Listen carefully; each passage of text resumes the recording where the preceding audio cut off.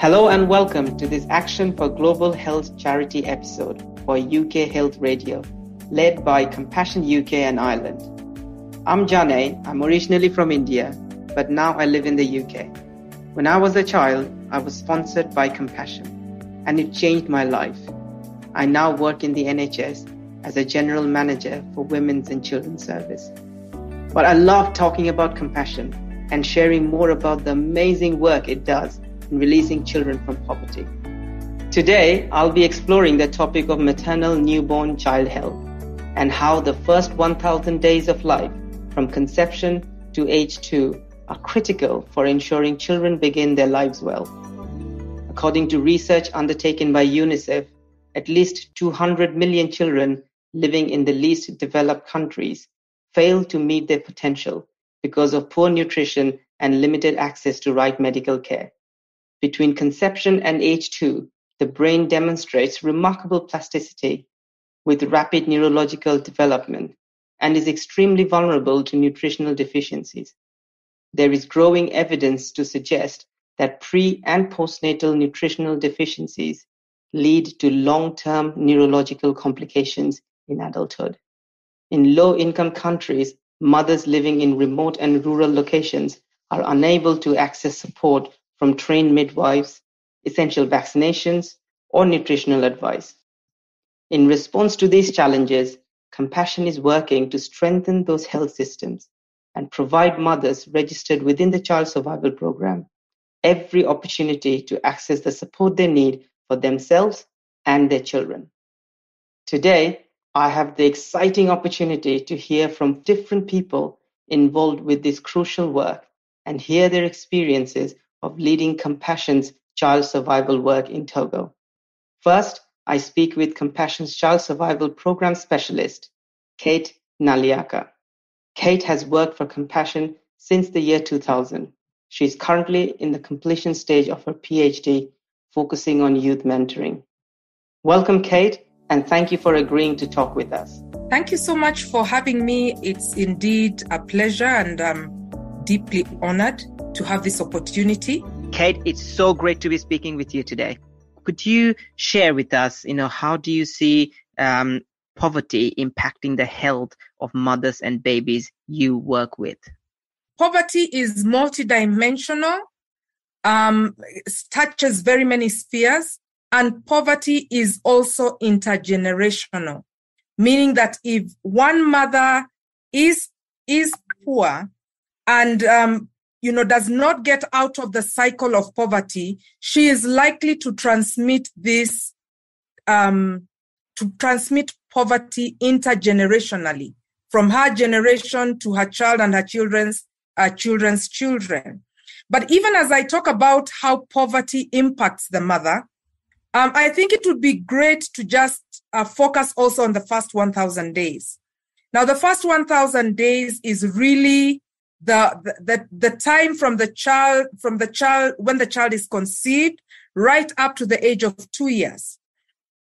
This is a critical time to intervene because this is when the brain development, you know, there's brain development and it's very aggressive. There's body, physical uh, development, but there's also development of the immune system so that the child can significantly be able to fight um, off diseases if exposed uh, to disease at that time. Um, then, so during pregnancy, the health of the mother is very, very important. And what we try to do is because we are working in, in, in poor communities, we know that um, there is extreme vulnerability for mothers who are in poor communities. One, because they are not properly nourished, they can't access food. And even if they do access food, it's not quality food, um, meeting the, the food groups, uh, you know, adequate proteins, adequate carbohydrates, vitamins, and minerals to be able to ensure that she is healthy um, so that the baby developing in her in utero also grows healthy. So what happens um, is that when um, when they, you know, when a mother is exposed uh, to poverty, then she cannot access basic things like maternal care. And maternal care is prenatal when she is pregnant and postnatal after delivery. Prenatal because the healthcare provider is constantly following up to see how is the baby developing in utero how uh, you know how is her hemoglobin uh, hemoglobin levels is she anemic and if she is then she gets the uh, anem- um, she gets anemia anemia um, iron supplements and folate supplements to ensure that she's building her blood reserves after delivery or during delivery we want to ensure that she is in a safe place where she is not exposed to in hygiene condition that can impact the delivery process. So we insist that the mother has um, is attended by a skilled birth attendant. Uh, so in cases where it's very rural, sometimes it's so far for her to access um, to access a hospital. But in the in in the budget, there's provision for that um, transport to be able to take her to hospital when she when she's ready for delivery. With poverty or in poverty, she cannot be able to access that. At most, she may deliver in the village, in the local village, and the person I, uh, attending to her would be a traditional birth attendant. Not all of them are trained. And in case there is, she is in crisis, maybe there is heavy bleeding, maybe the child is in breach, that person is not skilled enough to be able to facilitate a safe delivery. So a skilled birth attendant is really, really critical. And that would be given by access to good medical, medical care. Then there is the issue of um, the fact that uh, if she's poor, she may not uh, uh, access, uh, you know, she may not access quality food. We provide food baskets during during during the time that she's prenatal up to the time that she's postnatal until the child is actually five so the child the, the, the family has access to food um, food uh, food baskets that will supplement what the family has so that the, the mother is eating nutritionally uh, uh, uh prepared foods and even when the child is born that the child has access to a good balanced diet that will promote a healthy growth and development. Wow. So I think you created a very strong picture, isn't it, Kate? That, uh, you know, yeah. poverty creates lack of basic provisions that a mom and, and a baby should have uh, to have a healthy start for the baby and a healthy pregnancy and delivery for, for the mom. And that's the injustice of poverty, isn't it? It takes away those provisions uh, from the moms and babies. Very true. Um, we see that those who experience severe poverty, you know, now UN categorizes extreme poverty as people who live on less than $2.15 a day. Um, and these people, they experience some of the hardest health challenges and struggles to access healthcare. Would you describe for us how you see these health challenges play out for mothers and babies uh, you see in your compassion programs? So, well, a family that uh, lives on, um, you know, $2.5 a day. In, in our context, some of them live um, with even less, even a dollar a day, um, or even less, because it's we work in areas of extreme poverty, and um, our survival programs are really targeted to that cadre um, of that kind of population. So, you know, the, ch- the hardest challenges and, and things that um, mothers who have been denied access to healthcare, um, you know, basics, uh, hygiene and sanitation, food, human dignity, you know, those, those challenges impact, um, impact the development, the growth and development of the children uh, that they have in their family. And the hardest challenge, uh, when you talk about the hardest health challenge, is just, you know, basic access to a healthcare system where a mother can, de- can deliver in a hospital. You know, um, so if you're working in a rural area, you know, I've, I've, I've, visited some of our, the areas in which we work in deep, deep rural, rural areas where the, nearest health facility is kilometers away from the village. So a hard challenge for that mother would be how does she how is she able to get to the hospital to deliver her, her baby in a safe manner? How is she able to access a, um, a professional birth attendant so that that birth process is well catered for? So the hard, hardest health challenge is access to just a facility where a mother can give birth. The other is access to medication, where a mother, if she's sick, can she be able to access medical intervention in a timely manner and intervention that is quality, that provides and improves her quality of life? In certain areas, uh, there's a shortage. You have clinics there built by the government, but there is no medication. So there are so many challenges. And when you have an, a healthcare system that is broken, um, like what we see in many of the development countries, access is a critical factor. Not only, but the quality of that healthcare. Um, do we have uh, a trained uh, midwives, trained health personnel to get to, to provide the care? So in compassion programs, you know, the program, the survival program, the early childhood program seeks to ensure that all these challenges are minimized.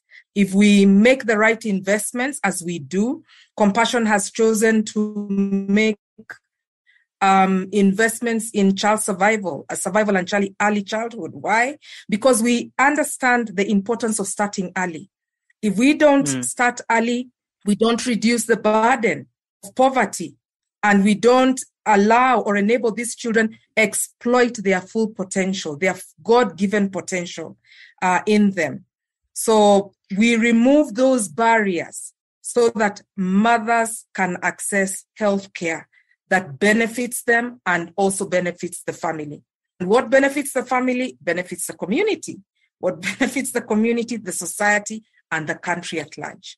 Absolutely. I think, Kate, you've given us a very powerful picture for our listeners to just kind of understand the different layers of challenges that uh, the health challenges a mom would face. I mean, uh, you were talking about uh, even not having the opportunity to be able to give birth in a safe environment, you know, and that might unfortunately lead to fatality you know fatality for women and and babies you know preventable fatalities. Um so it, it's so complex. Poverty is complex yet how lack of clean water how that affects the growth of a child it's just uh, it's just quite big to get our head around to to understand the complexity uh, of the challenges. Uh, you know, you've touched a little bit on what compassion is doing. We're going to go a bit deeper into that, uh, but just wanted to you know take your views on there is research around the importance of first thousand days in a baby's life and the lack of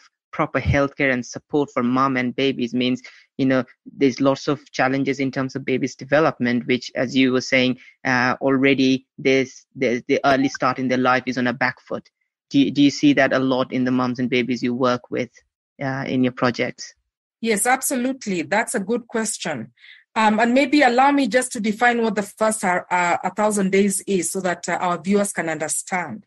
The first 1,000 days uh, of a child's life is very critical. Um, and it really starts from the moment that baby is conceived until they reach the age of two years, which is about 24 months. That is a period when rapid growth takes place. There's um, rapid growth within their brain. Uh, there's the building of the physical body, but also immune systems that will be that are critical for this baby as they grow uh, later into adulthood. There is um, uh, in you know it's really important because that is the time when the child is most vulnerable.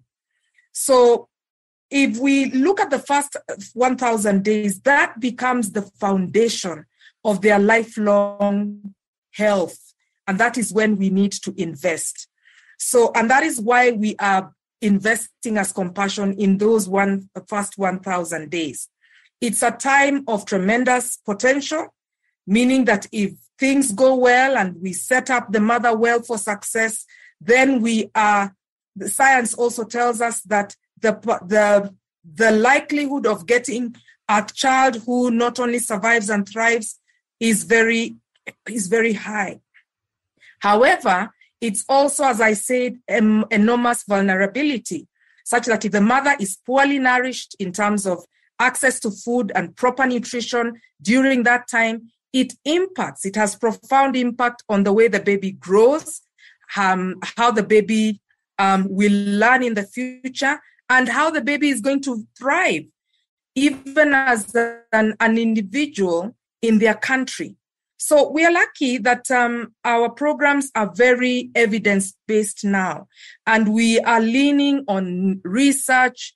Um, biology is telling us what neuroscience is telling us because they are giving us powerful insights on where these investments need to be made.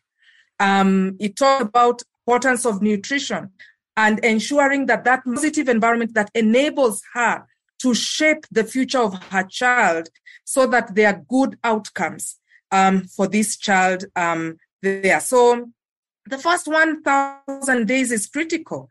Think about building a house. If you're building a house, you need to have a good foundation. And you start by ensuring you have a foundation, a good foundation. If the foundation is weak, like the Bible says, when the rains come, the foundation is, you know, the house is wrecked.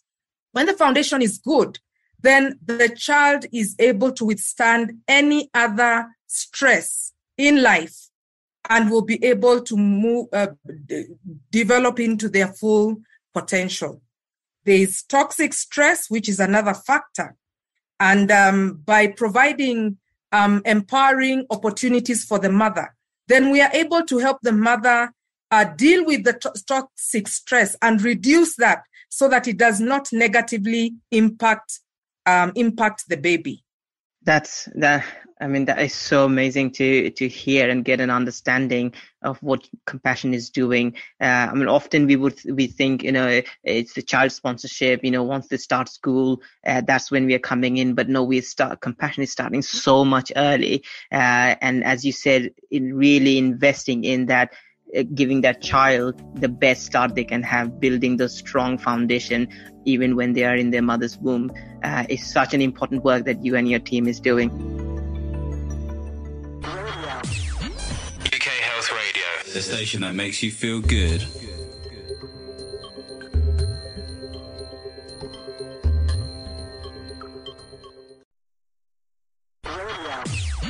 UK Health Radio, the station that makes you feel good.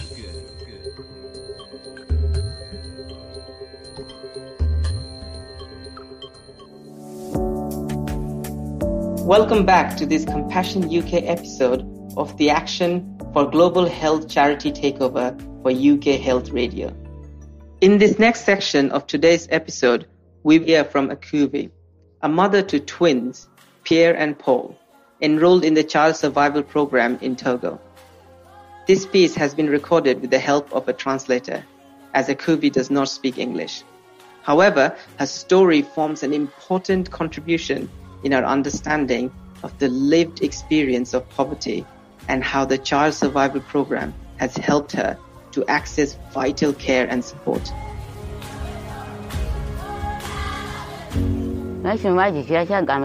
The twins were born prematurely. I delivered at home, and I didn't have enough milk to breastfeed them. I prayed every morning for help. I'd previously eh? lost babies because of lack of milk. One morning, I woke up and I thought I would lose my twins again. God answered my prayers when two women came to my house and talked about a child survival project at church. I then realized that God answered my cry. When the twins are sick, the Child Survival Project supports me so I can bring them to the hospital. When I am also sick, the project provides support for my medical expenses. The Survival Project worker takes care of all the medication for the twins and me. There's a great change in our lives. Thanks to child survival. I'm so happy that the Lord brought me into the survival project. Our next contributor is Kofi Ahanon, the National Director of Compassion in Togo. I asked him to record a message explaining the impact of child survival. Kofi is the National Director in Togo since 2010 and has been instrumental in shaping the work of Compassion in Togo, as well as overseeing 306 active child development projects and 110 child survival projects throughout Togo. Kofi has helped pioneer a three-year partnership between Compassion and the UK government through UK Aid, which has supported the work of 23 child survival projects in rural parts of Kara, Maritime, and Plateau region of Togo. Kofi, welcome, and thank you for agreeing to share your experience with us. Over to you. My name is Kofi Ahanon. I'm the National Director for Compassion in Togo. Back in 2019, Compassion UK, along with much funding from the UK government through UK Aid, raised 2.2 million pound to help protect women during pregnancy and ensure their babies have healthy start in life. We support mothers and their babies for the first 1000 days of that infant life. The first 1000 days of life from conception to age 2 is a critical phase during which the foundation of a child's development are laid. If a child's body and brain develop well, then their life chances are pro- improved. Poverty is a significant challenge in Togo, especially in the rural areas where our projects are based. Here, approximately 69% of the households are living below the poverty line on less than $2.15 a day. This economic vulnerability and the many hardships that come with it have severe consequences for Togolese women and children. It is a terrible reality that one in 20 babies do not reach their first birthday, and that women have one in 56 chance of dying in pregnancy or childbirth. In the UK, this is one of 10,000. However, in partnership with Compassion, and thanks to UK Aid's, churches in Togo are working hard to radically improve their statistics. Mothers enrolled in the child survival program are being blessed by a wide range of supporting measures, including medical, dietary, employment, and child survival intervention. Medical interventions provide pre and postnatal checkup, the presence of skilled birth attendant during labor, access to vaccinations, all of which maximize the opportunity of a healthy pregnancy and birth. Dietary intervention include breastfeeding guidance and food supplement which give children the best possible start with the right nutrition.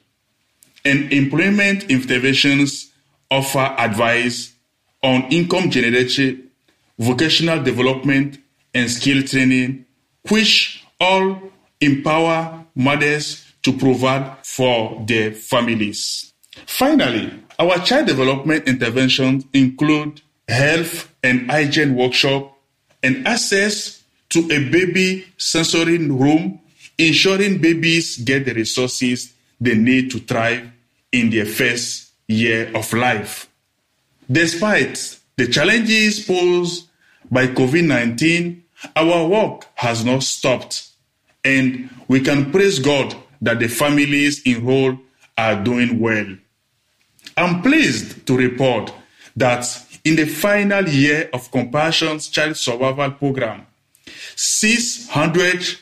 695 babies were supported across 23 separate child survival sites.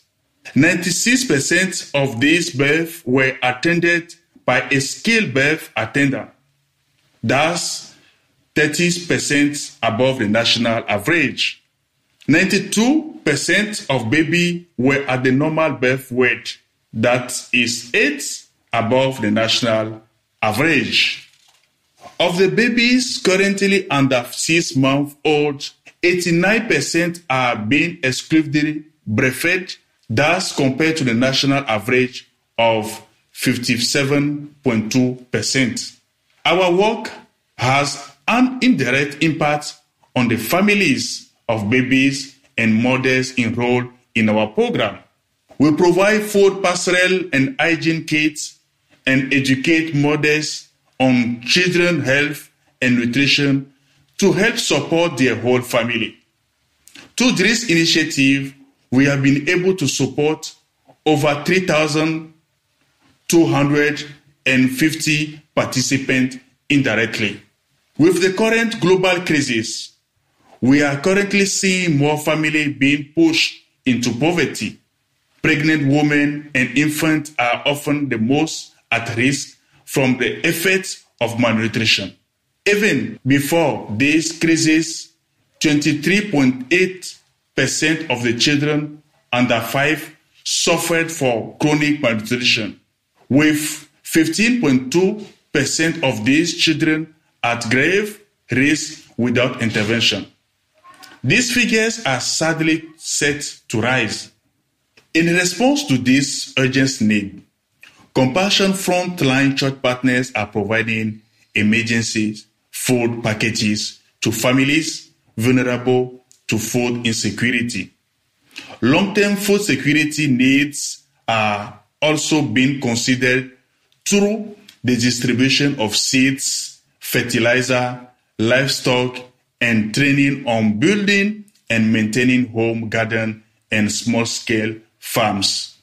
We are now almost at the end of our final year of partnership with UK Aid, and there is much still to do.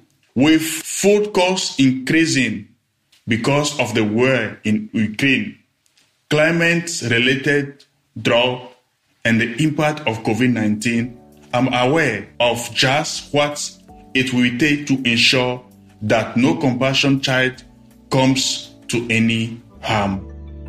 Thank you, Kofi, for that contribution. And I'm glad to hear the partnership between UK government through UK Aid and Compassion in Togo has been such a successful one, ensuring more mothers are lifted out of poverty and are able to care for their babies. Kofi's mention of food security is sadly something that has grown into an urgent need as multiple crises affect our world.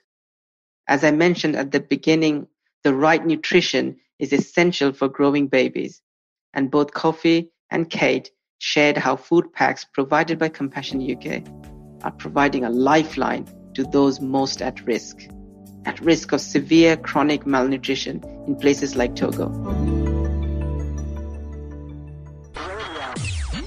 UK Health Radio, the station that makes you feel good.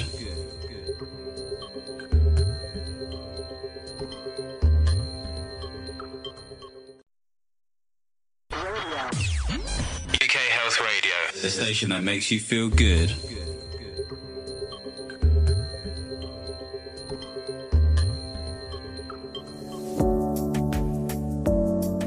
Welcome back to this final section of today's Compassion UK episode of the Action for Global Health Charity Takeover for UK Health Radio. In this next section of today's episode, I speak with Compassion's Child Survival Program Specialist, Kate Naliaka. She is currently in the completion stage of her PhD, focusing on youth mentoring. Kate has worked for Compassion since the year 2000. Kate, it's so great to be speaking with you today. We are going through some unprecedented times, you know, the big worldwide factors like global food crisis, food shortages, climate change, you know, COVID pandemic. Um, it's all made this last few years really really hard and uh, how had these all these factors affected the communities and moms and babies you're working working with yeah so basically, um, I can point to COVID. Uh, um, the COVID situation, of course, came at a time when no country was really ready for it. But um, one of the things that we saw with COVID was a general fear because COVID was um, um, um, a disease that was airborne or was a disease that um, you know was spread either through air or contact. We saw that many of our mothers feared to go to the hospital. But um, our church partners, our, our, our frontline church partners, aggressively um, worked at educating the mothers. And so in, in instances where other, other, other organizations saw a drop in attended births, we had close to 98, 99% attended births even during that period. So wow. I think I think that is a, a major success because the, the, the churches really went all out to ensure that in spite of COVID, mothers still accessed um, uh, um, healthcare, and they worked very hard to educate the mothers to to to overcome the barriers of the things that they had heard about about COVID. Climate change is another one, which is something we are going to live with for generations unless the world uh, wakes up and begins to to take very very um, uh, strategic decisions. Um, you know, access to food care. Uh, I mean, uh, access to food um, in terms of uh, um, climate change. many countries in Africa, we we are facing a food crisis. We've had extended periods of drought in Ethiopia, in parts of Kenya, Tanzania as well uh, in the western part, uh, Burkina Faso and Togo as well. So we've experienced a food crisis, and um, means that that exacerbates poverty. Means that even when you're working so hard to release people from poverty, uh, a lack of food because of a food crisis makes families fall back into poverty. But we have strategically uh, tried to address this issue, and we've ensured that. Um, um, especially our mothers and babies, have an uh, have access to a food food baskets that can be able to make sure that they they are living comfortably. Does it meet all the needs? No, but at least there is something that a family can have because other families have had no access at all. But we Absolutely. are going we are going the extra mile to ensure that that family accesses a food basket and and that there is um, there's also access um, um, access to um, money that they can be able to use to meet their basic their basic needs. and I imagine you know things are costing that, much more now, uh, yes. and inflation would have reduced their purchasing power, making it further cha- more challenging for families to meet their needs. Absolutely, you're very very right yeah, the, um, the, the currencies have dropped against the dollar. And therefore, like you rightly say, access, access is, has been a great, a great challenge where families had two meals a day before. Now they are either having one or even none. But, um, uh, but, but because we are providing, um, you know, the food baskets and we um, are also providing um, additional resources and empowering the churches to make good interventions, decisions uh, that are able to help the families, we have been able to see some form of stability um, being reflected in these families that we serve. I mean that is uh, that is quite mind blowing. You know, we are all experiencing the effect of inflation and and increasing cost of living, but for some of us, we are in a less unfortunate position where a decision is whether we can have an extra treat or uh, dessert uh, for our meal or not. But for some people it's actually whether we get any meal or not you know. So uh, although we are all feeling the effect of it but um, the effect of inflation and climate change and cost of living rise for people living in abject poverty is so much more um, and we all need to do do things to to fight that. Uh, I mean, uh, Kate, you very helpfully touched on some uh, things that Compassion is doing. Could you elaborate that a bit more for for us to understand what what Compassion is doing to change the situation you know, for moms and babies through its child survival interventions? So, what we are currently doing in um, the child survival program um, is one is um, like like I just want to go back to uh, one of the ex, uh, the examples you used. If you can allow me just to talk about the definition of poverty, because that will then help me uh, be able to bring each one of the items that we are absolutely go for it, Kate. Yeah, talking about. So, for instance, um, the lens in which we see poverty is looking at it through a holistic lens. And um, you talked about uh, powerlessness, you talked about um, exclusion, you also talked about access to food, education, sanitation, and and and and, and many other things. But I want to add on what World Bank defines poverty. Uh, poverty, they look at poverty as holistic, but they also say that poverty encompasses things like health, education, access to social services, vulner, um, vulnerability, social exclusion, and access to capital. And these are some of the things uh, at Compassion in the survival program. These are some of the things that we are building on to ensure that our approach towards uh, uh, helping mothers and babies is addressed. For instance, like I said, we provide access to healthcare. Um, healthcare that enables a pregnant mother get antenatal uh, services and postnatal services as well. Just like you said that you and your your wife, when you you know when she was pregnant, she had access to see a doctor on a monthly basis. You know, get her blood works done, get um, get nutritional counseling to ensure that she's eating a good meal and so on and so forth. So we have access. Uh, in terms of health, is access. Uh, we ensure that every mother does deliver in the in, in in a hospital with a skilled birth attendant, and that's why I said while our our percentages may have been between 98 and 99, our standard is 100%, so that 100% of our mothers access healthcare and ensure that they have a skilled birth attendant uh, at delivery. Um, if there's vi- vitamin supplement, supplementation, iron supplementation, folate, they have access to that. In terms of uh, management of uh, childhood diseases, even when the child is born, then she has access to that in that in that space.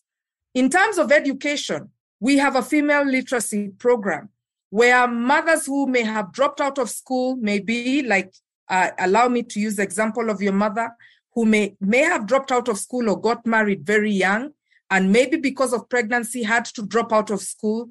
Then we work with local uh, governments and local communities to provide um, female literacy education so that by the time the mother is transitioning out of the program, if if there is anything she can do, she can read her Bible and she can be able to do basic um, numeracy.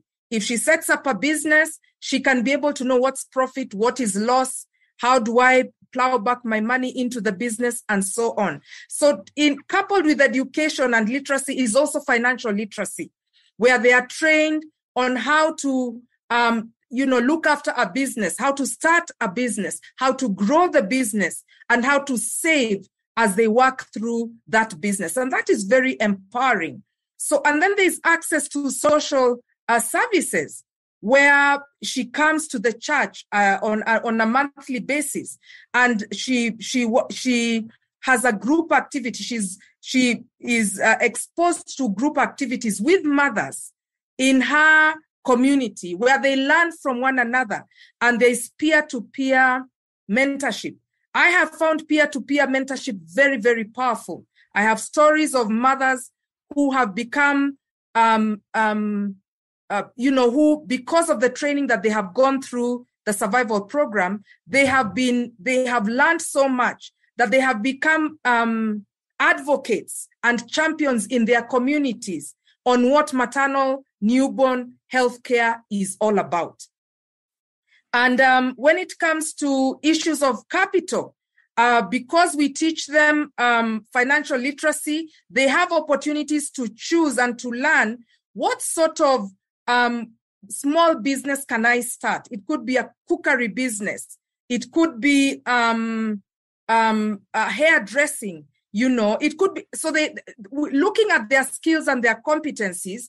They go through a training and they can be able to say, okay, I think based on my level of education and my skills, I would be good at this. And they have somebody who journeys with them through that, that process. And they build their capacity and then they are able to set up um, small, um, small businesses.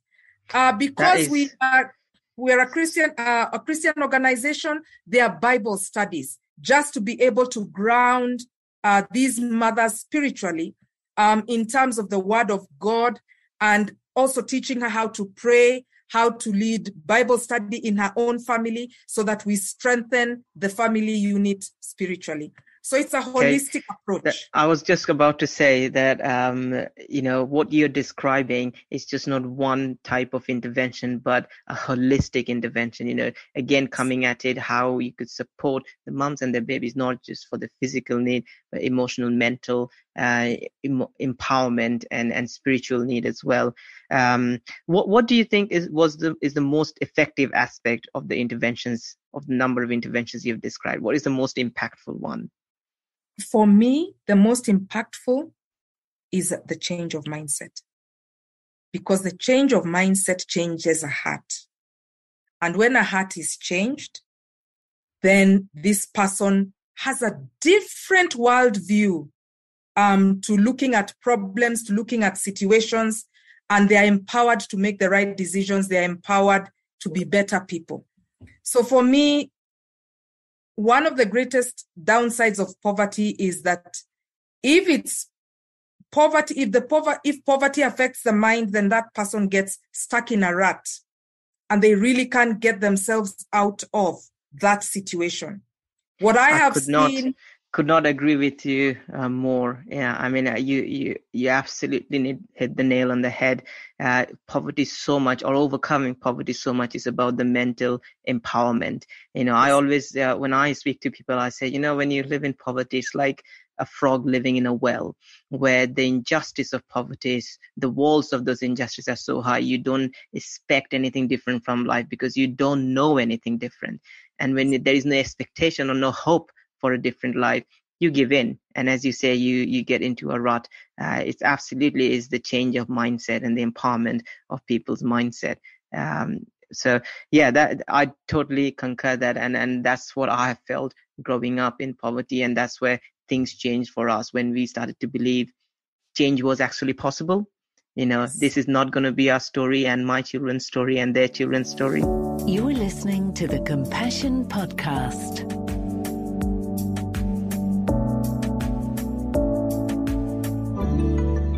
Kate, how would you say that um, you know the the the interventions vary from or do they vary from country to country that you work in? Whether you see uh, you know is it the same across kenya ghana togo or do you see the interventions slightly differ across different communities? Well like i said in the beginning um, poverty is contextual. Poverty is contextual. Uh, what is what the way um, people in ghana define poverty is very, very different. Poverty is different in an urban setting, it is different in a slum, it is different in a rural setting. There are certain fundamental things that are similar, but uh, in general, poverty is very, very different. Um, and so, for instance, maybe what I could say is that the program, while there are certain things that will be the same across countries, there are certain things that will be different um, um, in other countries. So, yeah. And that's so crucial, isn't it? That you are yes. dynamic and you're able to adapt to the yes. need of that specific community. Because as you yes. say, poverty is complex. Uh, it's not, not the same issues everywhere. Um, that's great. You know, um, uh, Kate, in September 2023, the UN will host high level meetings about universal health coverage. So, what does universal health coverage mean to you, and how would it impact uh, compassion's interventions and, and communities you work with? So, universal health, health coverage is basically the access to health services um, for health, for promotion, prevention, and treatment, and also includes a degree of rehabilitation and palliative care where there is the need for such. And when they talk about universal healthcare, they are saying that you have access to this without risk of any financial um, hardship when paying for them.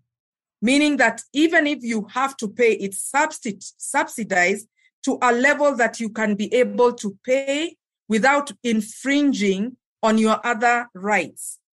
Now, I think for us in the in the developing uh, developing world, and that is where most of um, the compassion countries are.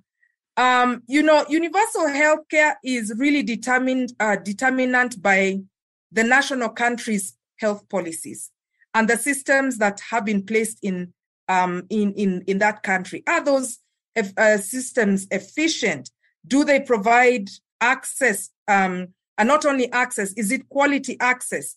Are the healthcare are the healthcare workers or providers or uh, first line providers um, well trained are medicines and other technologies available? So in in terms of um, the impact that this would have it would be really nice if all the countries of course embraced universal healthcare. Each one is at its own level and each one is at its own pace of providing that. Um, but I feel that if that were true, if that was the ideal situation, then it would impact a compassion's interventions uh, by ensuring that that component is taken care of. And then we would be able to focus on other interventions, uh, other holistic interventions to bring um, stability into the lives of um, the child, and the family. But I do know that health is a cross cutting issue. If you are not healthy, you cannot work.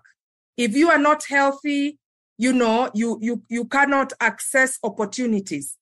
If you are not healthy, then you are sick all the time and you may not even eh, be able to know what is out there for you to be able to access.